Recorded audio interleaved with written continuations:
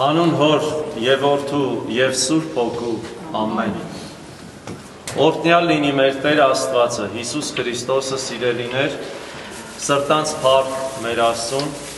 այս օրվա համար էլ, որ դարձյալ մենք ապրում ենք, շնչում ենք, կարողանում ենք օրվա մեջ գոյատևել սա Աստծո ողորմությունն ու շնորհքն է, սիրելիներ։ Վերջերս մի անդամալույց երիտասարդի հետ էի զրուցում, եւ այս երիտասարդը այնքան ակտիվ էր իր գործունեության մեջ, այդպես ոդքերը անդամալույց վիճակ էին, բայց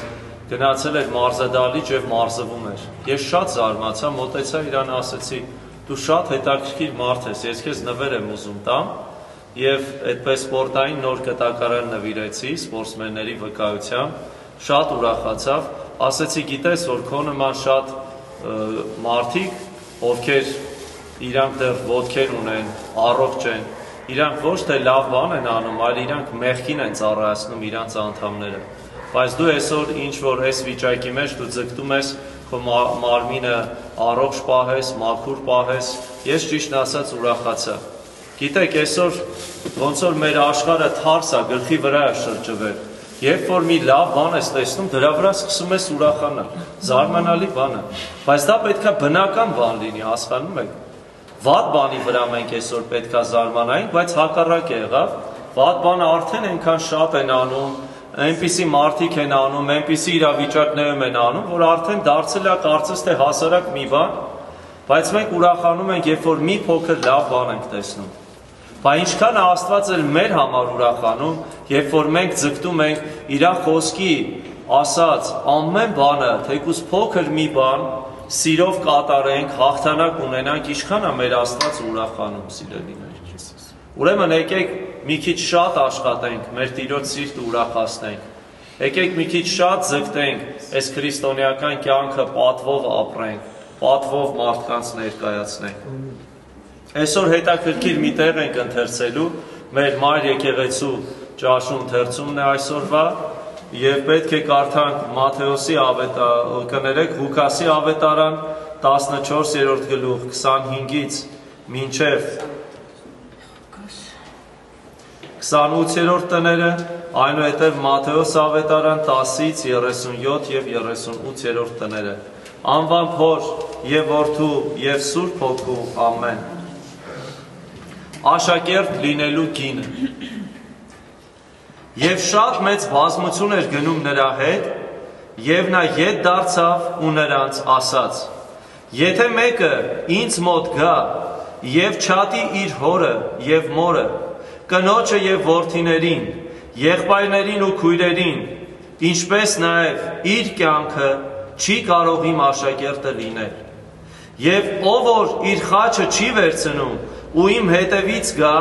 չի կարող ինձ աշակերտ լինել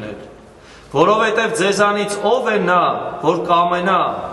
աշտարակ շինել եւ նախապես չնստի ու իր ծախսերը հաշվե, թե այն ավարտելու համար բավարար գումար ունի։ Եվ Մատթեոս ավետարան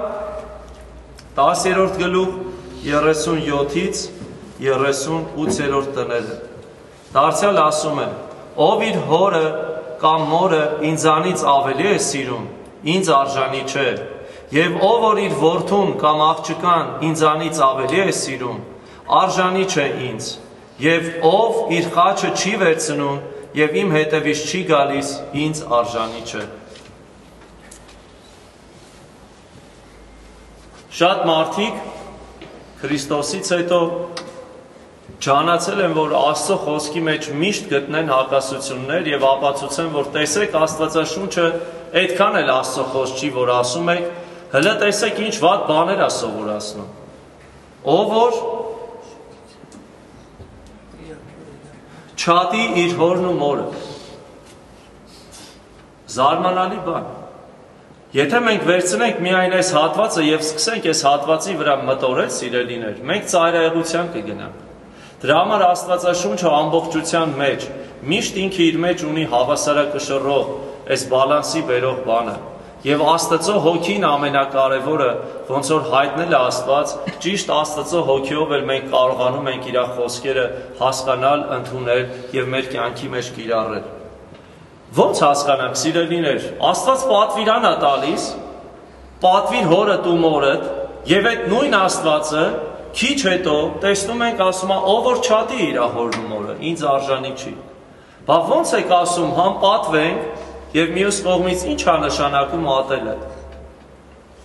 Եվ Մատթեոս ավետարանիչը բացատրում է ինչի նկատի ունի այս բանը ասելով. ով որ ինձանից շատ սիրի։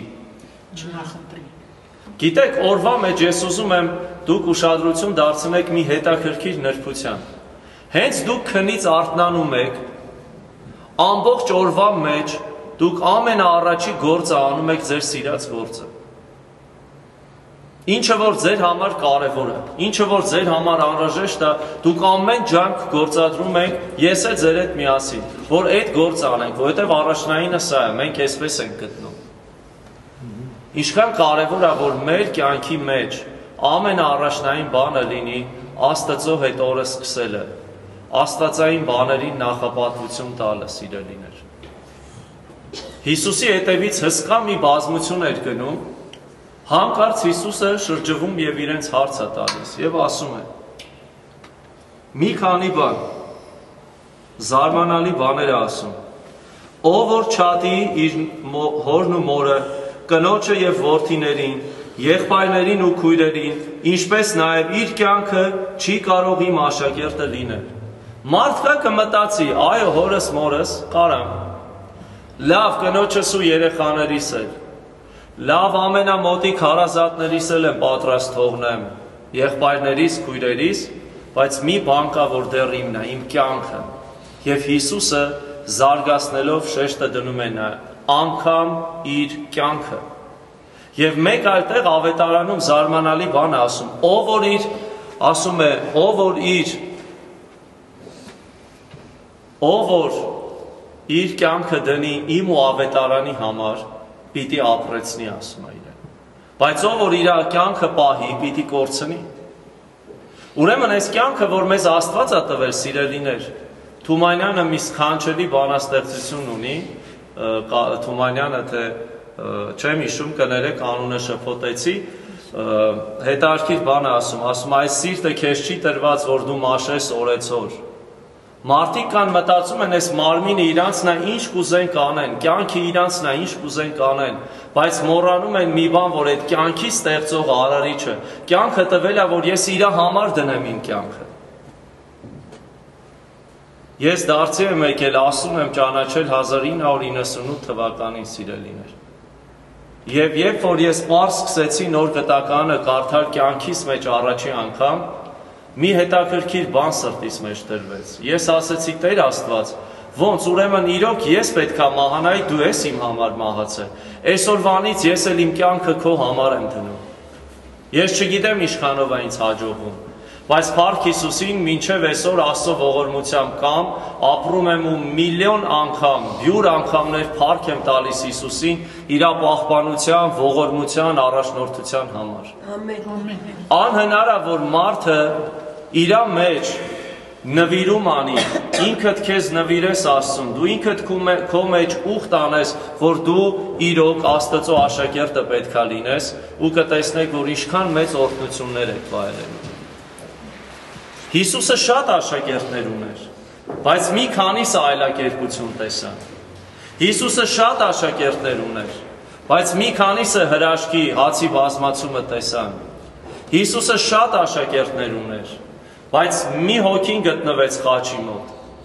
Եվ այսպես շատ կարևոր է աշակերտ լինելու համար գին վճարել։ Եվ այդ գինը Հիսուսը շատ կարևոր բաներ է շեշտում, որ այսօր մեզ այդ թելերը շատ են կապում։ Հիշում եք, մենք անցած քարոզի ժամանակ ասեցինք, այսօր ինչքան մարդիկ, ինչքան քրիստոնյաներ զոհ են գնում ճիշտ այս բանի համար եւ հրաժարվում են Հիսուսին, արժանի չեն դառնում։ Ասում է իմ հոր խոսքը պետք է ասեմ։ Հայրս ասում է հերիքա գնաս եկեղեցի։ Վերջ, բրծավ։ Վերջացավ քո կյանքը։ Ու դու լսում ես, չես անում, դու հնազանդվում ես ավելի քո հոր խոսքին, քան Աստծո խոսքին, որ ասում է, որքան տեսնում ես օրերը չար են, մեկտեղ հավաքվելը չթողնենք։ Դու սկսում ես քո երեխուն ավելի շատ սիրել, Այնքան բաներ անում երեխեդ, այնքան բաներ ուզում քեզանից, որ մեղքի վրա աչք ես փակում,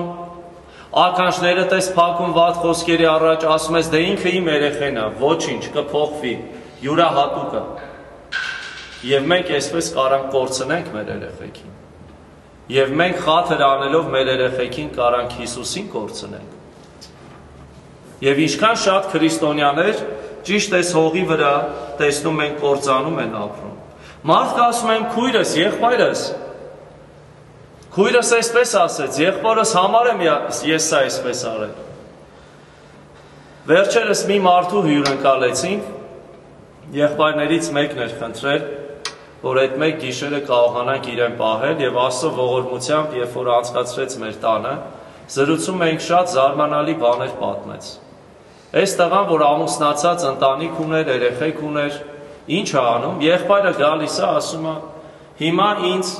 սենց բան է պետք, եղբայր, հասի օգնի, Պարտք անում աղբերը, կտրում է իր երեխու բերանից, իր կնոր ձեռքից, օգնում է եղբորը։ Հիմա այս հարցի մեջ, այն հարցի մեջ, բանից պարզում է եղբայրը մի շատ վատ կյանքով ապրում եւ այսպես ինչ է անում, կործանվեց ինքը, ընտանիքը բաժանվեց, երեխեքը հեռացան, ինքը անտեր ու դուս մնաց դրսերում։ Ինչ ասա։ Ես իրան ասեցի, աղբորդ խաթր ամեն բան արել ես։ Հիսուսի խաթր ինչի չես արել ոչ մի բան։ Շատ հեշտ է այսօր ասել, բա աղբերը սա, բա այն ինչը դա։ Այդ ինչ աղբերը է, որ ինքը չի մտածում, որ իր աղբոր ընտանիքը կործանվի։ Իմ անիմաստ արարքներով ես գամ իմ աղբորը ծանրաբեռնեմ, որ իր ընտանիքներ կործանվի, ոնց որ իմը։ Այդ ինչ արյուն է, այդ ինչ եղբայր է։ Նույնը ընկերության մեջ Նույնը տարբեր տեղեր վերցրեք, որտեղ ուզում եք, այսօր նայեք, մարդիկ ծանր վիճակի մեջ են։ Պարտքերի մեջ, պարտքերի մեջ ընդեղից վերցնում ընդեղ ա տալիս, ընդեղից ընդեղ ու խճճվում են։ Այո։ Մենք ինչքան Աստծուց հեռանանք։ Աստծուց հեռանալ նշանակում է հեռանալ նաև իր խոսքից, իր պատվիրանները զանց առնել, եւ մենք ինչքան հեռանանք, այնքան կործանման եզրին ենք լինելու։ Այո, Աստված թող մեզ ողորմի։ Շատ ծանր վիճակի մեջ ենք։ Մենք չենք ուզում խելքի գանք, սթափվենք, ասենք, «Էս ինչ ենք անում»։ Հիսուսի հետևից բազմություն էր գնում։ Բայց նայեք, ընդամենը 12 հոգի հոժարեց, որ իր ամբողջ կյանքը նվիրի Քրիստոսին, իր հետ լինի։ Եվ այդ 12 առաքյալները, ընտիր առաքյալները այսօր ամբողջ աշխարհը գրավեցին եւ գիտեք նրանցից երկուսը, եթե այս աշակերտ դառնալու գինը իրենք չվճարեին, մեր երկիրն էլ միգուցե այսօր քրիստոնյա չլիներ։ Այդ երկու առաքյալներ եկան, ավետարանը քարոզեցին եւ տեսնում ենք այսօր արդյունքը։ Ինչ խանչելի բան է Քրիստոսի աշակերտ լինելը։ Հիմա հարցը սա է. ով կարա այդ աշակերտը լինի։ Պողոս առաքյալը միտեղ ասում է այն բաները, որ ինձանից լսեցիր, հավատարիմ մարդկանց փոխանցի։ Շատ կարևոր է Աստծո դաշտի մեջ հավատարիմ լինել։ Եվ ոչ միայն հավատարիմ, այլ կարող մարդիկ լինել, ովքեր ձգտում են սովորել։ Այսօրվա աշխարհը սիրելիներ, կարիք ունի, որ մենք կարողանանք Քրիստոսի իրական աշակերտները լինենք։ Աշակերտ այսօր շատ մարդիկ ուզում են աշակերտ դառնան, բայց ինչ են անում։ Ամաչում են։ Աման ես ոնց գնամ պատմեմ իրան Աստծո մասին, ոնց Աստծո խոսքը խոսամ, ամոթը, բա չի ասի չես ամաչում։ Ամոթի խաթր աշակերտ չենք դառնում։ Երկրորդ կարևոր բանը, որ մենք չենք կարողանում այդ աշակերտության գինը նաև վճարել, սա է, որ մենք ճիշտ կյանք չենք ապրում եւ չենք կարող դրա համար Քրիստոսի աշակերտը լինել։ Ոնց կարա մեկը դառնա Քրիստոսի Քրիստոսի աշակերտը եւ ինքը իր կյանքի մեջ չձգտի սրբության չձգտի Աստծո հետ մտերմության, իր փոխհարաբերությունը Աստծո հետ խորացնելու։ Ոնց կարա այսպես լինի։ Զարմանալի եւ տարօրինակ բան է։ Այսօր սովորելը շատ կարեւոր է։ Մենք մեզանից շատերը այստեղ նստած հավատացած եմ դպրոցում ինչ սովորել ենք, ավարտել ենք, բուհը, եթե մեզանից շատերն էլ բուհ են սովորել, ավարտել են, մենք ամեն բան կարծես թե ավարտել ենք։ Բայց Քրիստոսի աշակերտ դառնալու համար մինչև այսօր ես պետքա սովորեմ։ Ինչ ա ուզում իմ Տերը անեմ, ես պետքա լինեմ այդ մարդը։ Տեսեք Քրիստոսը Իրանից հեռու աշակերտներ ուներ։ Ասում է գնացեք այս գյուղը, ասեք Տիրոջը պետք է ավանակը բերեք։ Անուն չի շեշտում։ Բայց այդ մարդը այդ գյուղի մեջ, այդ տարածքի մեջ ինքը մնացել էր նորից Քրիստոսի աշակերտը։ Քրիստոսի շատ կողքը կանգնած շատ մտերիմ մարդիկ էին նաև իր առաքյալները, աշակերտները, որոնք միշտ Հիսուսի հետ էին դարձյալ քայլում։ Եվ իրենք հիշում եք, միտեղ արկելեցին, ասին Տեր, այս մարդը քո անունով է խոսում, մենք արկելեցինք, Հիսուսը ինչ է ասում։ Մի արկելեք։ Ով մեզ դեմ չի, մեզ հակառակ չի ասում։ Ուրեմն աշակերտ լինելու համար շատ կարևոր է մի քանի հատկանիշներ ունենալ։ Առաջինը հավատարիմ լինել Աստծուն։ Երկրորդ բանը կարող լինել սովորելու, կարող լինել Աստծո, Աստծո ամեն ասածը անելու, գործադրելու, ինչքան էլ դա թվա մեզ դժվար է սիրելիներ։ Ինչ տարբերություն այն մարդկանց եւ Քրիստոսի աշակերտների։ Հիսուսը ինչ է ասում իրենց։ Ասում է Տեր, մենք թողեցինք այդ ամեն ինչ, հայր, մայր, աշխատանք, բան։ Հիսուսը ասում է, ով իմ համար թողեց, հարապատիկը պիտի առնի որտեղ թե երկրի վրա եւ թե երկնքում։ Դավիթ թագավորը սքանչել է ասում, ասում է երեխա է ծերացա, չէ, մեծացա, բայց երբեք ասում է Աստծո զավակին ինչ անելուց։ Հաց մորալուց չտեսա, ինչի։ Որովհետև զարմանալի բան ասում։ Անհնար է որ մեկը Քրիստոսի իրական աշակերտը լինի ու Աստված հոգ չտանի իրան։ Մարգարեին տանում է անապատները, միսա բերում տալիս, հացա բեր հոգա տանում Աստված։ Ղուկասի ավետարանում զարմանալի բան կա դարձյալ։ Ինչ եմ անընդհատ է զարմանալի բանը ասում, որ մենք արթնանանք իրոք։ Հələ տեսեք ինչ ասում։ Դաշտի շուշանները, այս ինչ են, ինչ ասում է Սողոմոնը, իրանց նման չհակնվեց։ Թրջունները ոչ աշխատում են, ոչ ցանում են, բայց կերակրվում են, ասում է, բայց դուք, որ իմ պատկերն ու նմանություն ունեք, միթե ես չեմ հոգալու ձեր կարիքները։ Ինչ եք դուք դարդանում, ինչ պիտի ուտեք, ինչ պիտի հագնեք։ Հələ ուշադիր նայեք այսօրվա 2014 թվականի աշխարհի վիճակը։ Ինչ Հիսուսը ասում է, հակառակն է աշխարհանում։ Հոգմի անեք, ինչ պիտի ինչ անեք, ուտեք։ Ինչ է բացվում։ Սուպերմարկետներ, ամեն քայլին տեսականի ուտելիքներ, հերիք չէ, բավական չի հերոստացույցով նոր ճաշատեսակներ, ամեն առավոտ համեցեք, ամեն երեկո, ամեն ժամ Մարդը ասում է, վայ, էսել, էսել, էսել, էսել, ուտելու մասին է ամբողջ օրը մեր միտքը։ Մեկ էլ ասում է, հոգ մի արեք, ինչ պիտի հակնեք։ Համեցեք, ընտիր հակուստները,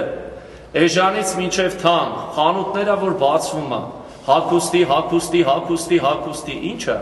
Հոգ արա, էսել ունեցի, ոչինչ, էսել, էսել։ Եվ այս վերջերս հետաքրքիր մի խանութ էլ բացեցին, անունն էլ կոչվեց մոլ։ Մոլուցկելի։ Հա Մոլ ինչա մոլուցկա, ամեն օր մոլուցկա։ Մարդկա գիտեք, չէ՞, գնում է առևտուր անելու, հագուստ առնելու, իրան պետք չի առնի։ Գոնե ինքը այդ օր այդ օրը պետքա մտնի խանութ, մի հատ ինչ որ շորիս էս ձեր տա, շոշափի, ասի վայ հանգստացա։ Այ քեզ բան։ Հա, հա։ Զարմանում ենք, ծիծաղում ենք, բայց այդ է այսօր։ Մարդկանց ամբողջ ուշքն ու միտքը ուտել, խմել, հագնվել, հաճույքներ եւ այլն։ Լավ, բա մենք քրիստոնյաներս ինչի չենք ուզում Քրիստոսի աշակերտը դառնանք։ Որովհետև մենք պետք է ինչ անենք։ Ատենք հորն ու մորը, կնոջն ու որդիներին, եղբայրներին ու քույրերին, ինչպես նաև իր կյանքը չի կարող իմ աշակերտը լինել։ Եվ ով որ իր խաչը չի վերցնում ու իմ հետևից չի գա, չի կարող իմ աշակերտը լինել։ Հələ նայեք ինչեր է ասում Աստված։ Ուզում ես դու Քրիստոսի աշակերտը լինես, ուզում ես այդ օրհնությունները վայելես, ծառայի Աստծուն, դարձի իր աշակերտը։ Եղբարակցության մեջ կլինի, եկեղեցում կլինի, այսօր տեսեք այն մարդիկ, ովքեր իրանց կյանքը նվիրում են Աստծուն, ծառայում են։ Աստված զարմանալի ձևով օրհնում է այդ մարդկանց։ Ես չգիտեմ ոնց, բայց շատ հետաքրքիր օրհնություններ ա լինում այդ մարդու կյանքի մեջ։ Անհնար է դուք փոքր բաների մեջ հավատարիմ մնաք, որոշեք Աստծուն ծառայեք, սիրելիներ, որպես իր աշակերտ։ Ինքը ձեզ չորտնի։ Անհնար է։ Ես մարդիկ գիտեմ մեր մեջ, որ փոքր-փոքր ծառայություններ են անում։ Եվ Աստված իրանց օրհնում է, որ խոսում ես իրանց հետ, հետաքրքիր բաներ են պատմում։ Նեղությունների մեջով ես անցնում, որ քեզ թվում է վերջ, բայց այն օրհասական պահին Աստված բարձրացնում է այդ մարդը։ Շատ մարդիկ գիտակցաբար լքում են Քրիստոսի աշակերտ լինելու ճանապարհը։ Թողնում են։ Կամքը իրենցն է, բայց այսօր Աստված ինձ եւ ձեզ կանչել է եւ ասում է դու կարող եք իմ աշակերտները լինեք Ոնց որ 12 աշակերտները ամբողջ աշխարհը գրավեցին, այնպես էլ մենք, եթե Քրիստոսի իրական աշակերտները լինենք, մենք կարանք այսօրվա աշխարհի մեջ Քրիստոսի բարի լուրը տարածենք։ Հիսուսը ասում է՝ «Մինչև աշխարհի վերջ ես ձեզ հետ եմ։ Մի վախեցեք, փոքրիկոտ։ Քաջ եղեք, ես ձեզ հետ եմ»։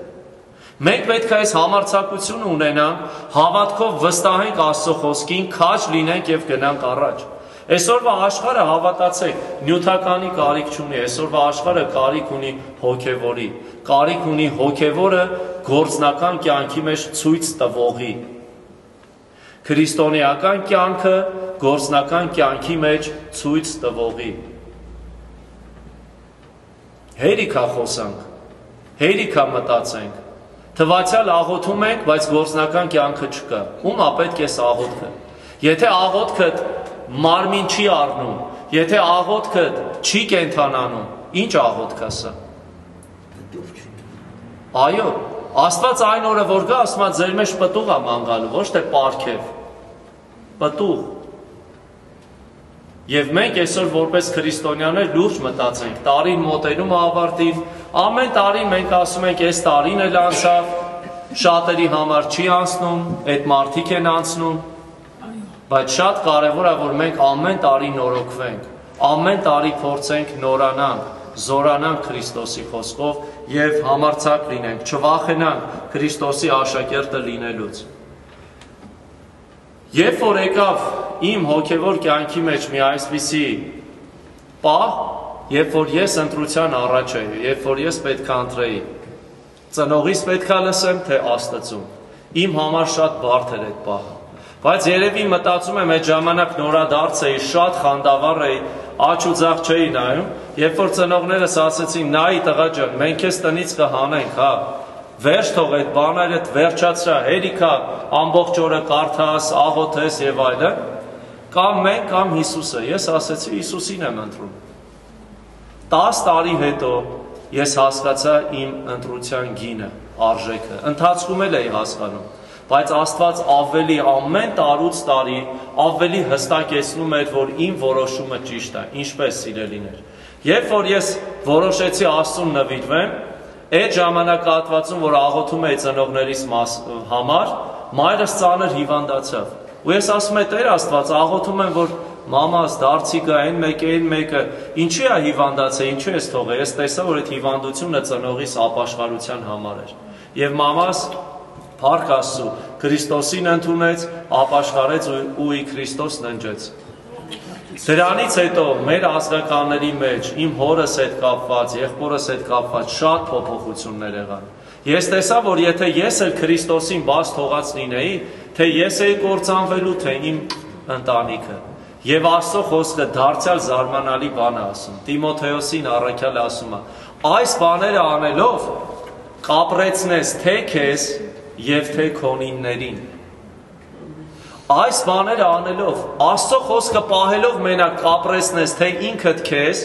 եւ թե քոնիններին, քո երեխեն կլինի, ամուսինդ կլինի, հարազատը թե բարեկամը։ Բայց առաջինը պետքա լինի Աստծո խոսքը։ Տեսեք ինչ գին ենք մենք վճարում ինչի համար։ Ամբողջ կյանքի ընթացք ասա։ Քրիստոնեությունը խաղալիք չի։ Քրիստոնեությունը պաշտոն չի։ Քրիստոնեությունը զբաղմունք չի։ Քրիստոնեությունը հաճույքի բան չի, քրիստոնեությունը զրկանք չի եւ այլն եւ այլն։ Քրիստոնեությունը կյանք է, որ մինչև մեր մահանալը ֆիզիկական, հա, մենք Քրիստոսի հետ պետք է ապրենք, որ մահից հետո հավիտենական արխայությունը ժառանգենք։ Եվ այդ արխայությունը սկսվում է երկրի վրայից Աստծո հետ քայլելուց, սիրելիներ։ Տերը թող մեզ զորացնի, որ մենք կարողանանք այս աշակերտ լինելու գինը հասկանանք։ Ես երկար տարիներ է աղոթում, ասում եմ Տեր Աստված, լավ, փրկել ես, եկել եմ, լավ, հիմա ինչ անեմ, էսա հա կյանքը։ Ես ինչ որ մի բան տեսնում եմ կյանքի մեջ, որ այն չի։ Այնքան ժամանակ առաջի բանը եղավ սա, որ ես ինձ նվիրեցի ամբողջապես, որովհետև մի ոդքս Աստծո մեջ էր, մի ոդքս աշխարհի մեջ էր։ Հələ ես տատանվում եմ Քրիստոնյա է, բայց տատանվում է։ Արժե կյանքս դնեմ, թե ինչքան ինձ պետքա այդքանով շփվեմ ու հետ քաշվեմ։ Ոչ մի բանի դարդից տեղյակ չլինեմ, ինձ Աստծո խոսքա պետք գնամ լսեմ, եկեղեցի ապետ գնամ հաղորդությունս առնեմ, գնամ տու։ Այդքան ինձ բավարար է։ Բայց ես չէի տեսնում այդ բանը։ Աղոտ քարեք, տեսեք Աստված այսօր ձեզ ինչ է ասում։ Եթե Աստված կանչում է մի կանգնի տեղում, մի ասա ես չեմ կարա, մի ասա ես չեմ ուզում հնազանդվի Աստծո խոսքին։ Ամեն մեկիս կարիքն էլ կա։ Դու չլինես Աստված ուրիշին է հանելու։ Ասում է այս այս մարդիկ լռեն քարերն են խոսալու։ Բայց այսօր ժամանակը տրված է ինձ եւ ձեզ սիրելիներ, որ մենք լինենք Քրիստոսի աշակերտը եւ մենք կարող ենք այս բանը անել մեր կյանքի մեջ։ Ինչ անենք։ Ինչից սկսենք։ Ինչպես վարվենք, սիրելիներ։ Ամենաառաջի բանը աղոթենք եւ խնդրենք Աստծո կամքը։ Տեր, ինչ ես ուզում, որ ես անեմ։ Ոնց որ առաքյալը ասեց։ Որն է կամքը, Տեր Աստված։ Եվ երբ որ մենք այսպես անկեղծ աղոթ կանենք, Աստված կհայտնի մեզ ինչ է ուզում, որ մենք անենք։ Մեր տեղի մեջ, մեր վիճակի մեջ։ Եվ եկեք սկսենք մեր կյանքի մեջ Քրիստոսի աշակերտ լինելու համար փոքրիկ ծառայություններ ստանձնել։ Փոքրիկ, փոքր բաներից սկսենք։ Վերջերս երիտասարդներից մեկի հետ էինք խոսում, ասեց ես ուզում եմ ծառայեմ Աստծուն։ Ասի, եթե ուզում ես ծառայես Աստծուն, մի բան ասեմ, կանես հավատարիմ։ Բա ասեց, հա, ինչ անեմ, Լևոն եղբայր։ Ասի կլինի քարոզից առաջ ամեն անգամ դու այս վաժակի մեջ ջուր լցնես, դնես, դա քո գործը լինի, որ մենք չանանք ստանանք, մենք իմանանք այս մարդը արտաճանաչ գալու է եւ վաժակի մեջ ջուր ա լցնելու եւ դնի միշտ։ Վայ, էդի էդի հասարակ բան է, այդ ի՞նչ է։ Ավելի ուրիշ բան, չէ ասի, կլինի դրանից սկսես։ Հարց չկա, կանեմ։ Երեք շաբաթ հետո այդ մարդը անհետացավ։ Այ մեծ բաներ, որ ասեն, կանեն, ինչ ա եղել, դրան դեմը ավլող կա, ինչ ա եղել, տակս մակրող կա, բայց ավետանը դες չի ասում մեզ, ասում այն մարդիկ, ովքեր որ ձեր հոգևոր կարիքներն են լցնում, դուք էլ իրանց նյութական կարիքները բավարարեք։ Կներեք, հլը ուրիշ բան չասեմ։ Նայում ես այսօր քո ծնող իր կյանքը դնում ա քո համար, Ծնողդ վաղը մյուս օրը ձեռից ոտից ընկնում է։ Ակնկալիքը դու ես, իր երեխեն է, այդքան քո համար արելա, այս մոմի նման վառվելա, որ լույս տա։ Մոմը հալվելա, որ լույս տա։ Ծնողը մեր համար կյանքը դնում է լավից վատից, որ երեխեն կյանք ունենա։ Ես հիմա էլ եմ ասում, իմ մորը շատ պարտական եմ, Աստված թող իր հոգին լուսավորի։ Մամաս ոչ միայն մեր ընտանիքը, այլ մեր շատ ազգականների ընտանիքներ, երկրաշարժի, սովի, պատերազմի տարիներից իր առողջությունը քայքայելով մեզ պահեց, որ մենք նեղություն չկրենք։ Բայց այսօր շատ մեր հարազատներ էլ թրփոշացած ման են գալիս, մոռացել են իրանց անցյալը, որ մարդ է իրանց համար կյանք դրել Բայց Աստված է ամեն ինչ տեսնում։ Մենք ոչ մեկից բան չենք պահանջում։ Ինչե՞ եմ sense ներանձնական բաներ պատմում, սիրելիներ։ Բոլորիս ընտանիքներում էլ նույն վիճակն է։ Դուք չասեք էլ էսը։ Փողի համար ազգականը թշնամի է դառնում, բարեկամը էս ինչն է դառնում, այնի նրան է խափում, այնի նրան է անպատվում։ Եվ ինչ տեղի ունեցավ, սիրելիներ։ Տեսնում ենք, որ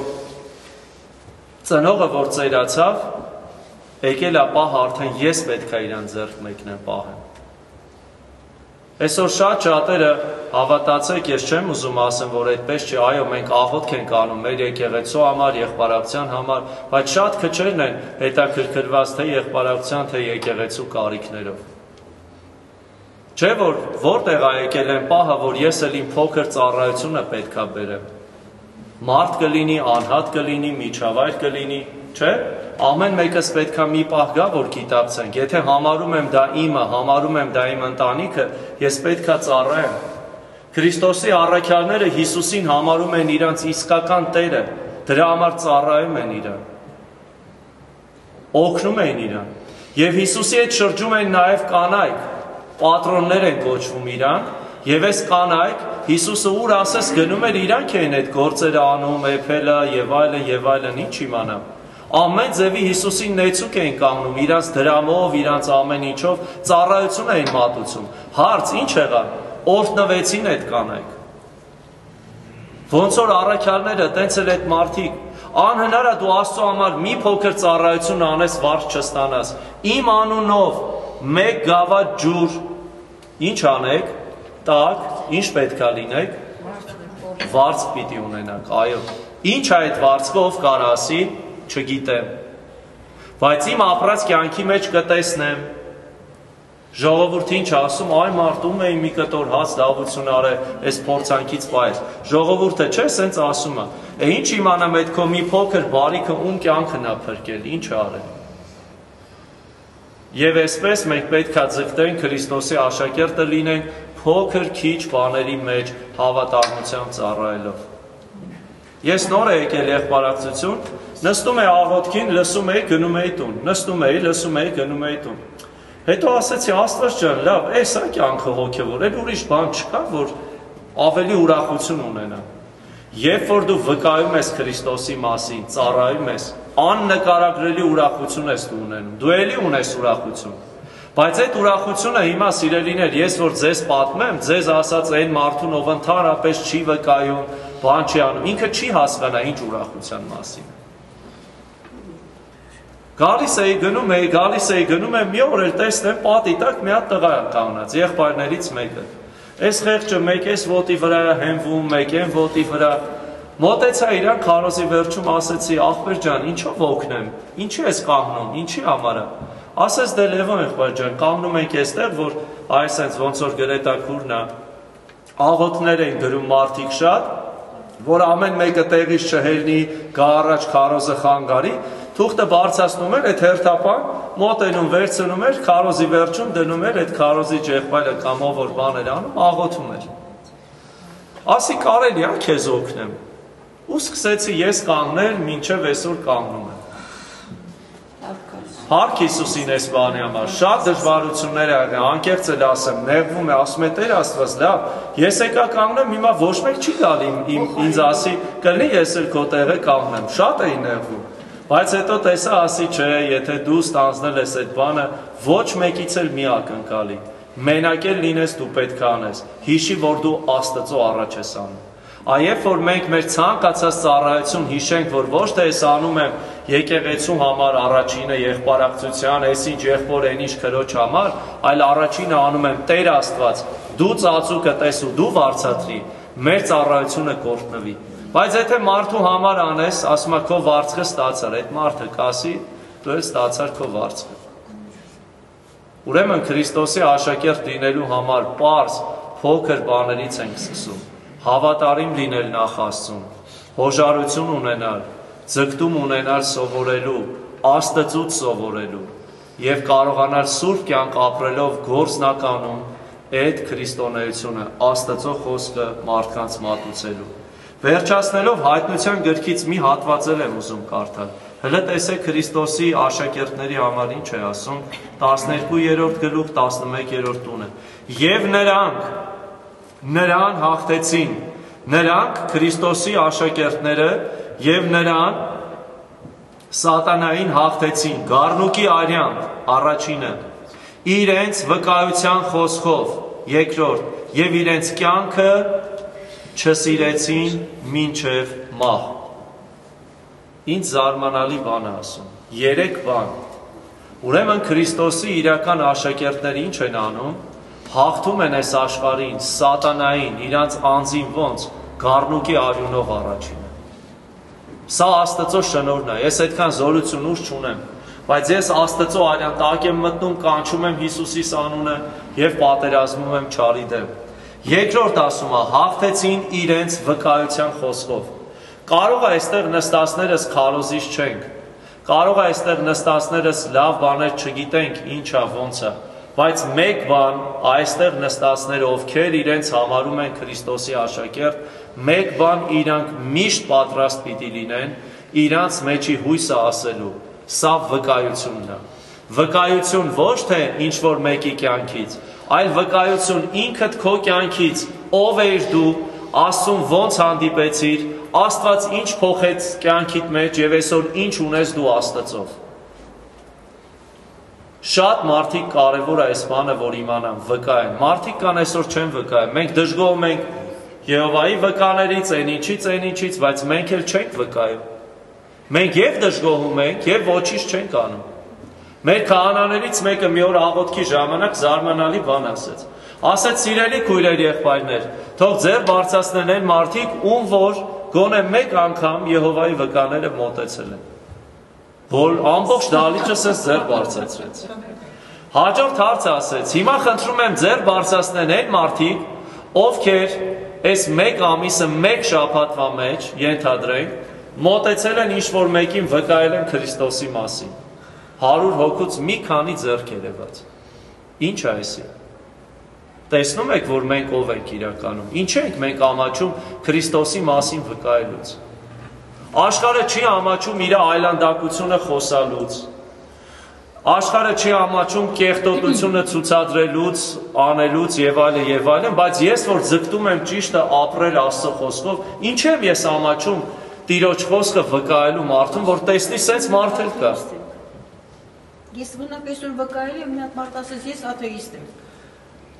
Մարգարիտները ասում է խոզերի առաջ մի քիչ քուրջան։ Այդ դրա մասին չի խոսքը։ Մեկին վկայիր աթեիստ են, սաղ աթեիստ է։ Այն մյուսին գնա։ Ինձ իմ ասեն, ինք կոպետ կոպտել են։ Քաջերի։ Մենք պատճառաբանություն միշտ կգտնենք։ Հիսուսին արի մեզ էլ են անելու։ Ուրախ երի, որ քեզ կոպտում անպատվում են։ Բայց եթե կոպտում են քո սխալի համար, տխրի, լացի, ողբա Հիսուսի անունը մի դու։ Բայց եթե քեզ ոնց ասեմ, նեղացնում են, անպատվում են Հիսուսի անվան փառքի համար, ասում է ուրախ եղեք, ցնծացեք։ Փոխանակ մենք ուրախանք, ուրախանանք մռուտները կախում են, վայ, ֆի սենց ասեց, էլ չվկայել, վայ, ամոթա։ Մենք էս ենք։ Եվ երրորդ բանը սիրելիներ,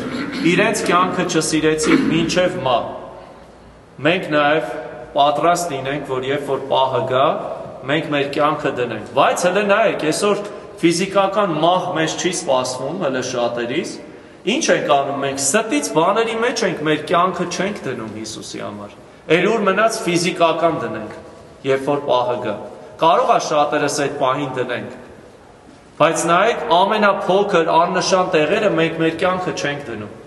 Շատերը ասում են մարդ չի տենում, ում համար դնեմ, գոնե մի երկու հոգի նայեմ, որ նոր դնեմ, ասեն, ահա, այս մարդը սրբացավ, կամ չգիտեմ ինչ, ինչի համար։ Մենք մեր կյանքը դնենք, այո։ Այդ օրը, որ պահը եկել է, դու պետքա խափես, դու պետքա, չգիտեմ, շնանաս, դու պետքա գողանաս, դու պետքա ուրիշ բան անես, այդտեղ կյանքը դիր։ Մեղքին այրում թափելու չափ ասում է հակառակ մնա։ Յանի մերի, բայց մեղք մի գործ էս ուզում ասի։ Բայց մենք այսօր շատ մեղքերին չենք անում, ոչ թե մեռնելով են գործում, այլ ուրախ զվարթ գնում գործում ենք։ Դրա համար էլ հայտնվում ենք այս փոսի մեջ, որ մարդկային ոչ մի լուծում չկա։ Փրկությունը երկնքից է, Տիրոջից է։ Ես մեկը տենց եմ հավատում։ Հավատացեք, այսօր շատ ծանր վիճակի մեջ ենք, թե մենք, թե մեր ընտանիքները եւ մենք պետք է աղոթենք սիրելիներ։ Աստված մեզ կանչել է իր աշակերտը լինենք, որպես Քրիստոսի աշակերտ մենք ապրենք, ավետարանը պատմենք մարդկանց կյանքով, խոսքով եւ կարողանանք սուրբ կյանք ապրել սիրելիներ։ Աստծուց երկյուղելով։ Այսօրվա աշխարհը այսպիսի մարդկանց կարիք ունի։ Եվ ամենափոքր տեղերը, ամենաաննշան տեղերը, ամենաչերևացող տեղերը ձգտենք այսպես ապրել։ Փարիսեցիներին չնմանվենք, որ ասում է հրաապարակներում, աղոթք են անում, Երևանու համար եւ այլն։ Աննշան տեղերը մենք այդ աղն ու լույսը լինենք։ Չերևացող տեղերը մաքրությունը, զուլալությունը պահենք ընտանիքից սկսած, միջավայրից, արևանների առաջ, ամեն տեղ փոքր տեղերից սկսենք այդ մաքրությունը պահել։ Տերը թող օրհնի, զորացնի իր անվան ու փառքի համար։ Ամեն։